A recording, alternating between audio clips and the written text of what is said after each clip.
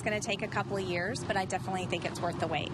A new section of an east-west corridor in Collier County is almost done. Veterans Memorial Boulevard in North Naples connects to the newest school right here, Aubrey Rogers High, and eventually it will be extended all the way from Livingston Road to US 41.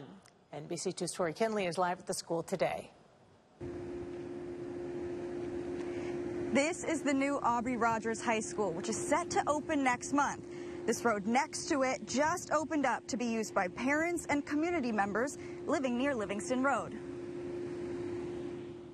We needed to get this road expanded so there would be an access to that high school.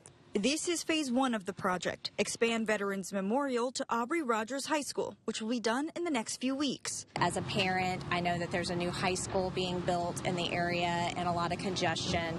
Courtney Bruner is excited to hear about the new high school coming to North Naples this school year. She's also excited that eventually Veterans Memorial will take you all the way to US 41. I know it's going to take five or six years before the whole project is completed, but I definitely think it's worth the wait.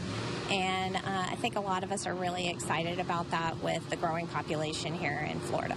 Next year, the next phase will begin in a design phase, with construction taking a few years to finish. So that will make this roadway an alternate um, east-west uh, roadway, which will help relieve congestion on Immokalee Road, um, hopefully, you know, as well as other east-west roadways. Final pieces of the project still need to be completed, like the traffic lights and a noise barrier for the Sequoia Reserve community. But Veterans Memorial Boulevard is now open for vehicles. If you do come down this road, there's still construction work going on. There are two traffic signals, one down the road and this one here.